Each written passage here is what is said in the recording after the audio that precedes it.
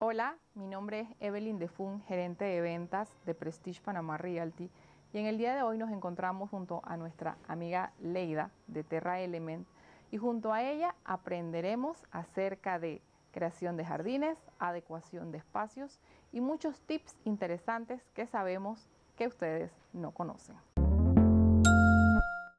Una vez le entregan al cliente su casa nueva o el cliente se muda o simple y sencillamente decide comenzar un proceso de adecuación de espacios, vienen tres principales retos. Uno, la mudanza. Dos, la decoración. Y tres, la creación de espacios. Y uno de los espacios más importantes del el hogar para que exista esa luz y esa energía positiva o simple y sencillamente todos nuestros espacios estén llenos de colores es la creación de nuestro jardín. Y cuando hablamos de jardín, no solo hablamos de macro jardines, también hay jardines pequeños. Y para eso, en el día de hoy, en colaboración con nuestra amiga Leida Pinzón y creadora y emprendedora de Terra Element, aprenderemos muchos tips importantes. Leida, mejor conocida como Toli, cuéntanos cómo surge todo este mundo de Terra Element cómo surge tu amor y pasión por las plantas, considerando que sabemos que, tu formación académica es en comercio internacional. Ok, te cuento. Yo estudié eh, comercio internacional, mercado de comercio internacional en la tecnológica. Eh, yo tengo 33 años, terminé mi carrera hace rato ya, pero hace tres años, cuando empecé a hacer terrarios, siento que conecté con las plantas conecté con esa parte mía que le gusta la naturaleza, que le gustan los animales y me di cuenta que iba un poquito más allá, que me entretenía, que me gustaba y que realmente me hacía feliz. Así que ese día empecé a tratar con plantas, empecé a cuidarlas, las que eran más fáciles primero, las que eran más resistentes. Y bueno, poquito a poco, probando ensayo y error, me di cuenta que eso era lo que me gustaba y que eso era lo que quería hacer. Así que empecé con las plantas de esa manera. Toli, quienes conocemos a tu mamá, sabemos que tu mamá tiene una vena artística muy, muy afinada. A tu mamá se le da la habilidad para muchas cosas. ¿Influenció tu mamá eh, en todo este tema de las plantas? Cuéntanos esa, cómo ha sido esa integración, ¿no? Sí, totalmente. A mi mamá Wow, le salieron cuatro en la casa porque mira, mis hermanos, tengo dos hermanos músicos, tengo un mi hermano menor pinta, es una locura y bueno, mi mamá hace esculturas, pinta, hace cuadros espectaculares y bueno, ella fue la que me, me llevó un poquito a donde estoy porque ella le invitaron a una, a una feria hace tres años, en el 2017. Entonces yo estaba con ella, yo siempre, somos muy unidas, entonces ella me dijo, pero acompáñame a la feria. Y yo le dije, ¿qué voy a, qué voy a llevar? ¿Qué voy a hacer? No, no tenía idea en ese momento que tenía cierto nivel de, de arte dentro mío. Así que lo que hice fue que le pedí que me enseñara a hacer algo. Así que ella me enseñó a hacer terrarios. Terrarios, el terrario les explico un poquito qué es. El terrario es un ecosistema dentro de una botella donde se mantiene la humedad, el calor y la constante para que las plantas sigan viviendo y eh, sigan bonitas, como si tuvieras un ecosistema dentro de una botella. Y yo siempre vi que ella lo hacía cuando yo era chica. Así que eso siempre me llamó la atención y bueno, ella me dijo, te enseño a hacerlo, tú los haces y los llevas a la feria y yo llevo mis pinturas. Así que bueno, así fue. Yo hice unos 20 terrarios en aquella ocasión, me acuerdo y los llevamos a la feria y fue un boom. a la gente le encantó, no sabían qué era, les llamaba mucho la, atención ver plantas encerradas y vivas. Así que ahí fue donde empezó Terra Element a agarrar auge. Eh, y ahí fue donde empezamos, donde yo me di cuenta de la necesidad de la gente de tener plantas, de tener su casa bonita, eh, lo fui integrando y fui tratando de hacer una comunidad de gente que le gustara las plantas. Y bueno, así fue como arrancó Terra Element. Wow, toda una experiencia. Sí, sí, sí. Tolia, sabemos que tienes que haber escuchado muchísimas veces de clientes, amigos, de diferentes personas, porque es muy común encontrar esa frase que dice, a mí todas las plantas se me mueren, todas. No importa si es un cactus, se me muere. Eh, cuéntanos un poquito más, tú debes saber por qué, o, el porqué de que, de, que sucede muy a menudo cuando estamos comenzando un jardín, porque se nos mueren las plantas. Eh, y sabes que de cariño te digo doctora Plantas, así que doctora Plantas, explíquenos por qué sucede. Ok, es, es gracioso que me preguntes eso porque tengo muchos clientes que siempre se quejan que las plantas se le mueren, que no le duran, pero hay que tener ciertos factores a considerar cuando compras una planta. No solo es, esta me gusta, esta es linda, se ve súper bonita, se va a ver hermosa en mi casa, sí, se va a ver hermosa en tu casa, te lo garantizo, pero necesitas tomar en cuenta que la planta necesita agua, que la planta necesita luz, eh, que en algún momento va a necesitar poda eh, y todo este tipo de cosas para que las plantas se vean bonitas, para que no se mueran. Entonces, ¿qué es importante? Cuando llevas una planta de un vivero o compras una planta, es importante que tengas en cuenta la iluminación que hay en tu casa.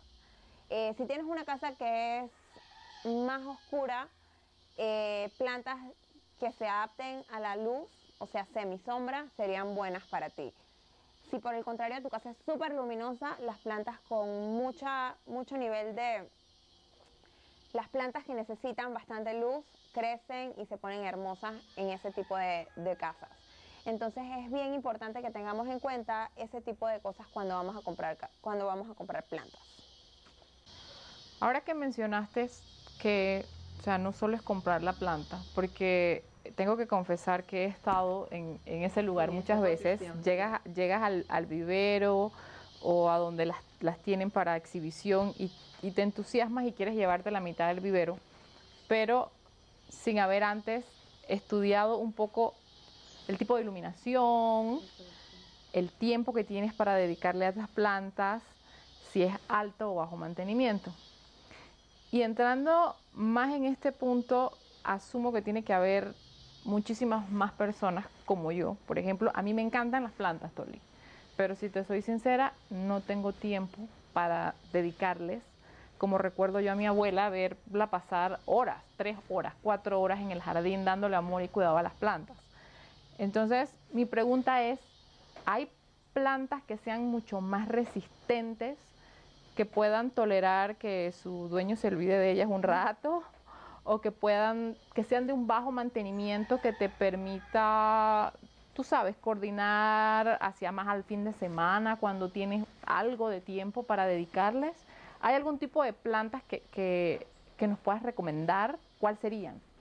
Eh, sí, es bien importante que antes de hacer tu compra, antes de tu, tu, compra en el vivero, lo primero es que tomes en cuenta, bueno, yo voy a mi casa y esta planta me gusta, pero esta planta, ¿dónde se puede ver bien? Bueno, se va a ver bien en mi sala, pero en mi sala no hay suficiente luz. Así que esta planta necesita luz. Vamos a ponerla en la terraza. O sea, eso es como lo primero que uno tiene que saber y hacer clic a la hora de comprar una planta eh, para entonces proceder. Sí hay muchísimas plantas que puedes comprar que tienes que regarlas una vez a la semana, cuando necesitan tanta agua. Incluso la lengüesuegra, mejor conocida, aquí en Panamá le dicen lengüesuegra, es la sanseviera. Es una planta que tú la pones, ella no necesita tanta luz, con una luz ambiente es súper feliz y puede quedarse sin riego hasta un mes. Entonces esa es una planta que yo súper recomiendo cuando, cuando alguien no tiene tanto tiempo para dedicarle a sus plantas, esa es una planta muy buena para eso. Ok, mira, un dato que te voy a dar es con esta planta. Esta es una samioculca, mejor conocida como millonaria. Y eh, con esta planta te voy a decir que las plantas que son de follaje oscuro, verde oscuro, son mucho más resistentes porque tienen más clorofila y necesitan menos luz. Cuando compras una planta que tiene follaje eh, de colores, rojo, rosado, necesita mucho más para mantener ese, ese follaje. Así que ese es un buen dato cuando quieran comprar plantas, fíjense el color de las hojas de las plantas y eso los va a ayudar mucho a la hora de a la hora de tenerlas en sus casas. Me llama mucho la atención la maceta en la que está eh, la sembrada, la, samia. Eh, coméntame más porque, o sea, usualmente tenemos el pensamiento de que tiene que estar en una maceta súper grande, bonita y de repente hasta costosa, pero me llama la atención porque veo que es como musgo. Esto es una kokedama. La kokedama es una técnica japonesa que significa bola de musgo, en donde tú siembras la planta en el sustrato y la, la cubres con musgo y la amarras y la planta sigue, sigue naciendo, ella sigue creciendo y se pone súper bonita. Wow, interesante. Es súper, es una técnica que me encanta porque es súper sostenible, es súper friendly con el medio ambiente y no necesitas el plástico de las macetas.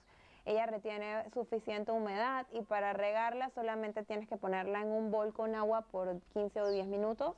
Ella absorbe el agua y listo. Eso es todo. Y el musgo retiene la humedad. Correcto. correcto. Wow. Súper interesante. Oli, muéstranos cuáles serían esas plantas que son más resistentes o de bajo mantenimiento. Eh, y nos interesa mucho conocer y que todos nuestros clientes eh, y amigos sepan cómo yo puedo determinar si mi planta necesita más riego. Eh, también si nos puedes dar algún tip para saber cómo sé si mi planta necesita más luz.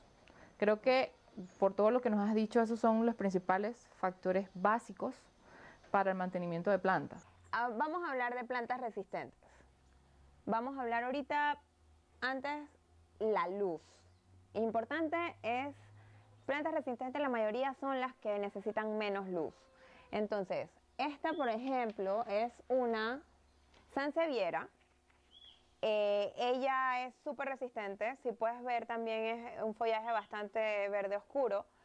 Ella necesita un nivel intermedio de luz y también agua una vez al mes y es súper feliz. Esta es una planta súper resistente, es una planta que puedes poner en tu habitación y purifica el aire de la habitación mientras tú duermes. Eh, por eso es una planta que a la gente le gusta mucho tener en sus casas. Eh, por, por esa misma razón. Entonces, eh, tenemos por acá también, esto es un filodendro, y este filodendro necesita también semisombra y una vez a la semana agua y ella es súper feliz. Entonces, otra planta que es de sombra, que es buenísima para tener dentro de la casa, es la begonia. La begonia tiene un montón de variedades.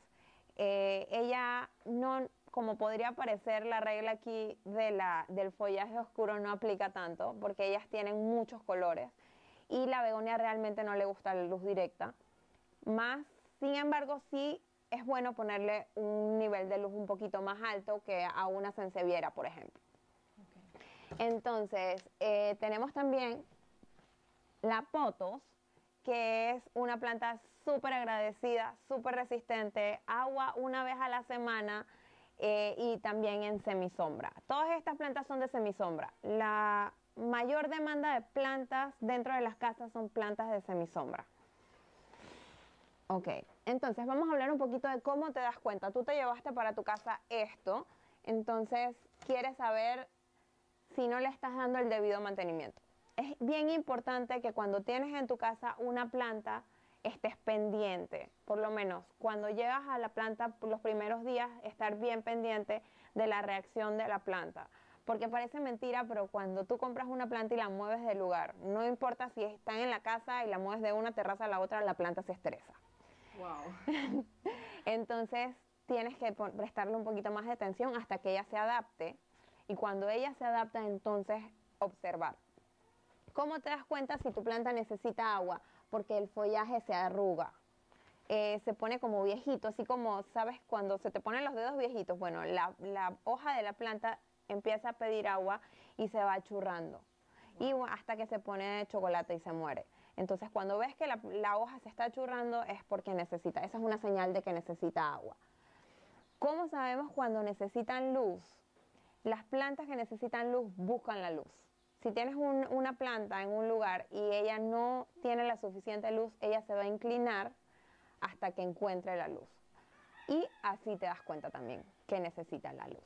Ok, como los girasoles. Es correcto, es correcto. Ella, ella se puede, o sea, puedes tener un cactus recto y los cactus son plantas de mucha luz y si no tienes suficiente luz, ella se va a ir, se va a ir moviendo, moviendo, moviendo y eventualmente o se va a romper o se va a podrir si no tiene suficiente luz porque las raíces se pudren. Wow. Ya sabemos que eh, ya nos presentaste cuáles son las plantas que, que pueden ser consideradas como más resistentes o de bajo mantenimiento. Pero ok, ya tengo las plantas en mi casa, ya sé que estas son las que me van a durar un poquito más. Pero eso no quiere decir que, bueno, ahora las dejo solitas y ellas a ver cómo sobreviven. Correcto. Me asumo que vamos a necesitar una rutina semanal de mantenimiento de las plantas o una rutina, no sé, cada 15 días. Cuéntanos cuál es la rutina porque tú tienes una cantidad, o sea, esto es el paraíso de las amantes de las plantas y imagínate, tienes casi una hectárea de jardín. Entonces, ¿cuál es tu rutina para, para el mantenimiento de las plantas? Ok.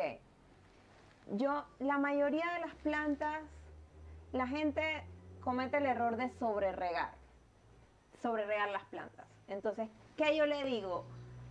Siempre lo principal es observar. Cuando tú ves las plantas, ellas siempre, si le echas un poco más de agua de la que debería, ellas siempre se, van a, se les va a notar, porque se van a poner un poquito tristes, o porque va a cambiar la forma de la hoja, dependiendo de la planta. Entonces, ¿qué yo hago? Yo tengo una rutina por día. Como yo tengo varias terrazas y en todas las terrazas tengo varias plantas, el lunes riego las de esta terraza, el martes riego las de la terraza que viene, la de enfrente, y así me voy. Entonces, cuando, como de repente la gente no tiene tanta, tanto espacio en sus casas, o sea, no tiene tantas plantas. Entonces, ¿cómo nos damos cuenta si la, si la planta está seca? Dos tips para darse cuenta si tu planta está seca. Número uno, la pesas. Si pesa, es que, le, es que está llena de agua. O sea, cierto nivel de peso es, es que la planta tiene agua. Si no pesa nada, necesita agua. Otro, otro tip muy bueno que yo uso mucho es el del palito de chorizo. Yo le digo el palito de chorizo, creo que te lo comenté antes. Y es que usas el palillo y lo pones en el sustrato y lo sacas. Si sale limpio, necesitas echarle agua a tu planta. Si sale húmedo, dependiendo del nivel de humedad que salga marcado en el palito, entonces puedes darle un tiempo. Yo riego mis plantas cuando veo que la tierra de arriba está seca. Ok, entonces la técnica es súper fácil, a ver si entendí. Agarro un palito de estos de barbacoa. Correcto.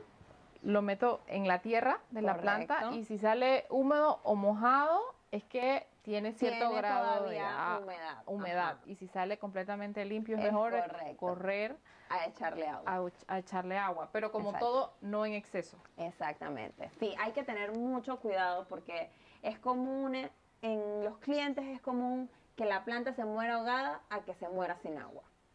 Casi todos los clientes cometen ese mismo error. Lo que pasa es que yo creo, y lo digo hablando en primera persona, que la reacción es si va a morir, si va a morir necesita agua y entonces corremos a ponerle la manguera para que se llene de agua y lo que hicimos fue ahogarla. Y la ahogamos. Y, las, y las raíces podridas completamente, correcto. Entonces tenemos que tener mucho cuidado. Hay, hay, hay potes que no tienen agujero de drenaje, entonces ¿qué hacemos? Echamos el agua y luego drenamos el exceso de agua en, en donde... En la maceta. en, fuera de la maceta. Sacamos el exceso de agua, o sea, que la planta quede húmeda pero que no quede encharcada. Eso es súper importante. Entonces, cuando ya las tenemos eh, todas húmedas, las vamos a dejar una semana. Hay plantas como la begonia que yo la riego cada tres días. Aquí tengo una humedad bastante alta, así que la riego cada tres días y ellas están súper lindas.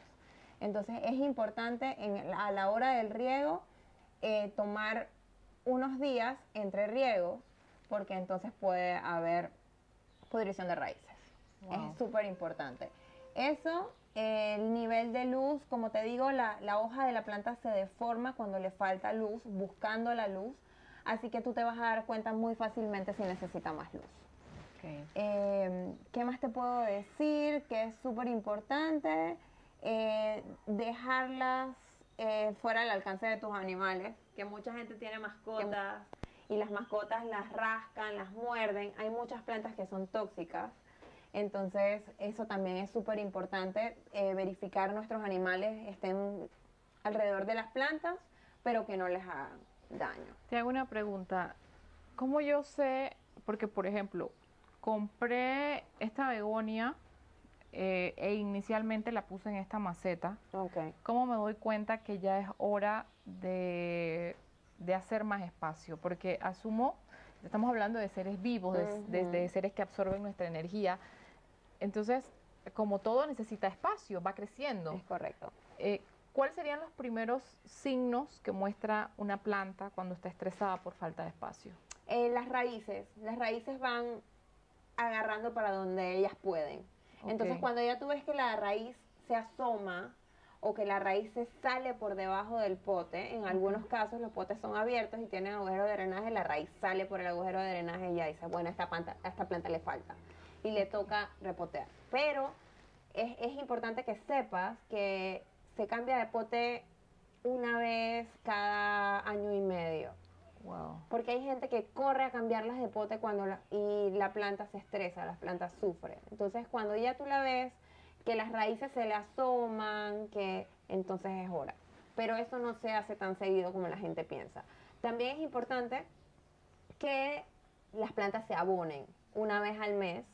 Eh, puedes hacerlo con abonos caseros. Yo hiervo pasta. Cuando hago la pasta, el agua con la que queda se la pongo a las plantas y les encanta. Eso fue un tip súper importante que me dio Toli hace unos días y me dice, cuando preparas la pasta, no botes el agua. Obvio, no la van a tener hirviendo. Sí, eh, tiene que esperar que tiene que esperar que enfríe. Y sin, y sin azúcar, digo, sin, sal y sin aceite. O sea, solamente el agua de la pasta. El agua de la pasta eh, apenas se enfría, entonces se la podemos verter a las plantas y es un súper alimento. Ellas van a estar encantadas. Y si tienen pecera, también eh, el agua de los peces, por los desechos de los peces, es súper nutritiva para las plantas. También es un buen tip para, ah. para los clientes. Así que, eh, bueno, ya tenemos eh, varios tips. El tip del palito de barbacoa. El, de palito El tip del agua de pasta para abonar nuestras plantas. Exacto. El de las peceras. El de las peceras. Y el huevo, la corteza del huevo, también la puedes hervir. La cáscara. Ajá. La hierves, la picas y le pones a las plantas. O sea, la, la Fría. Ajá, exacto. Siempre fría, nunca le echen el agua caliente. caliente sí. Y el tema de que las plantas, el periodo para repotear o cambiar de pote es cada 18 meses. Ajá, exactamente. Ok. Bueno, ya saben, tenemos muchos tips interesantes que nos ha dado Toli el día de hoy para ayudar a mantener nuestras plantas que si ustedes los ponen en práctica en su casa y en su hogar, sabemos que van a tener un jardín hermoso o sus plantas simple y sencillamente se lo van a agradecer. Es súper importante y, y quiero añadir esto que la energía de tu energía afecta a la energía de las plantas y se hace una convivencia y cuando tú llegas a tu casa y ves todas las plantas lindas, es, un sentimiento y es, algo que es muy bonito. Entonces eso es lo que en Terra tratamos de amplificar el conocimiento de las plantas y ayudarle a la gente a tener sus plantas lindas y a crear sus ambientes para que esa armonía siempre esté presente en su casa. Wow, súper interesante. Bueno, ya tenemos muchos tips y conocemos cuáles son las plantas resistentes o de bajo mantenimiento, inclusive de poca luz, eh, de poco riego. Pero creo que ha llegado el momento en el que hemos llegado a la esencia de esta colaboración. La esencia es, cuéntanos Toli, que al final creo que los terrarios son la esencia de Terra Element. ¿Qué es un terrario? Ok. Como te conté hace un ratito, un terrario es un ecosistema dentro de una botella. Entonces, es como si tú agarraras un pedacito de bosque y lo tuvieras en tu casa dentro de una botella. El momento de hacer esto por primera vez, pude notar en la gente eh, una curiosidad bonita y un amor a las plantas y a estos terrarios. Y que fue mi decisión para seguir. El motor que, que, el motor para seguir. Entonces, eh, los terrarios, aquí están, los terrarios son súper, súper fáciles de mantener eh, lo único que necesitas es tener un lugar que tenga una buena iluminación y no luz directa, simplemente una buena iluminación natural y ellos van a seguir creciendo y se van a seguir poniendo bonitos.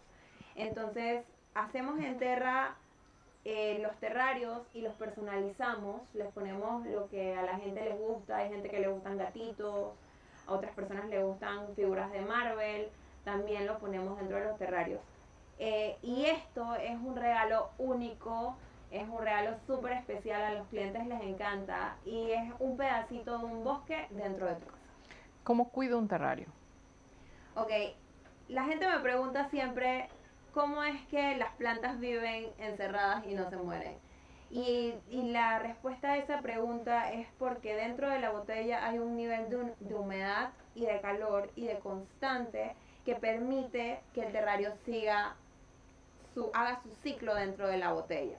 Entonces no necesitas mucho, necesitas el lugar, como te digo, el lugar claro que le dé eh, buena luz y eso va a calentar la botella y va a hacer que dentro tenga la humedad que necesita. Entonces no necesitas estarlo regando, no necesitas eh, estarlo moviendo porque ella va a hacer su ciclo sola. Cuando lo veas que está seco, porque puede pasar, eh, le puedes poner agua con un atomizador y ella se va a seguir manteniendo súper bonita. O sea que básicamente lo que te entiendo es que las plantas se adaptan y desarrollan su propio ecosistema dentro de la botella. Exactamente. Ok. Y se desarrollan y siguen, continúan creciendo. Ok. ¿Qué tan pequeño puede ser un terrario o qué tan grande puede ser un terrario? No hay, en eso no hay medida. He hecho terrarios pequeños en probetas wow. pequeñitos, como he hecho terrarios en damas juanas grandísimos. Entonces eso no, ahí es tu imaginación lo que manda. Si tú quieres un terrario, bueno, yo quiero que me hagas el bosque de, no sé, el bosque que te, un bosque que te guste, yo te hago el bosque, le pongo los helechos, eh, plantas como fitonias, como helechos, como begonias, eh, son súper propicias a seguir creciendo y a seguir manteniéndose dentro de terrarios. Wow, súper interesante. O sea que yo puedo fácilmente hacer un jardín interior de terrarios en mi casa. O sea, puedo tener botellas, diferentes ecosistemas en distintos lugares que al final es bajo mantenimiento. Lo arroceo con, un atomizador y listo, se mantienen. Exactamente. A ver, y cuéntanos algo. Yo veo esto sea, es todo un arte y te puedo decir que para mí sería casi que compararlo como hacer una cirugía. ¿Ves? ¿Cuánto tiempo le toma a Toli hacer un terrario? Bueno, depende, depende mucho del terrario y obviamente del tamaño, pero normalmente un, un terrario pequeño me puede estar tomando 45 minutos, una hora. Wow. Y esto, me imagino que esto bueno, es todo un hobby, toda una experiencia. A mí me encanta, exacto. Yo lo hacía, lo hice por dos años mientras trabajaba. Yo tenía mi, mi, mi trabajo estable y llegaba de mi trabajo y me ponía a hacerlo, me ponía a trabajar los terrarios. Me gustaba, me relajaba, me hacía súper feliz y poco a poco me fui dando cuenta que a la gente le gustaba tanto como a mí y lo seguía haciendo hasta que, bueno, un día dije, esto me está dando lo mismo que me da mi trabajo, me da felicidad, estoy aprendiendo y bueno, aquí estamos. Aquí estamos y estamos viendo crecer Terra Exactamente, estamos creciendo, ahorita tenemos una comunidad, aprendemos de plantas, aprendemos a sembrar, ahora en cuarentena estuvimos aprendiendo eh, cómo hacer un huerto en tu casa, porque mucha gente piensa que los huertos solamente se pueden hacer si tienes un patio de 3 hectáreas y realmente no es así en un metro puedes hacer eh, tu siembro perfectamente. Entonces eso también lo aprendemos en la tienda, eh, en, la, en, la, página de Instagram. Eh, aprendemos cómo regar las plantas, así como lo que hablamos, los tips como el del el palito, tips como cómo regar sin agujeros de drenaje y ese tipo de cosas son súper importantes. Para mí es súper importante que la gente entienda de esto de la energía y este poder y que sepa que no es que tienes mala mano para las plantas, sino es que tienes que meterle un poquito de corazón a lo que estás haciendo, entender que esto es un ser vivo que necesita su luz, que necesita su agua, que a veces necesita su abono y para seguir. Eh, cuando tenemos todos estos conceptos claros en nuestra cabeza, nuestras plantas hacen así y se ven espectaculares, siguen creciendo, los follajes son espectaculares y eso es lo importante. Eso es lo más importante para mí, hacerle un cambio de mente a la gente para que puedan mantener sus plantas.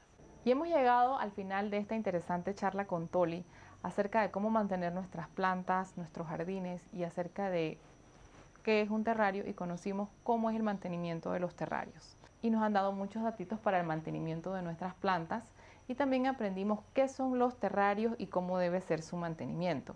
Aquí eh, está Toli a su disposición eh, en Terra Element. Ya saben que esto es, los terrarios son un regalo eh, súper bonito, interesante.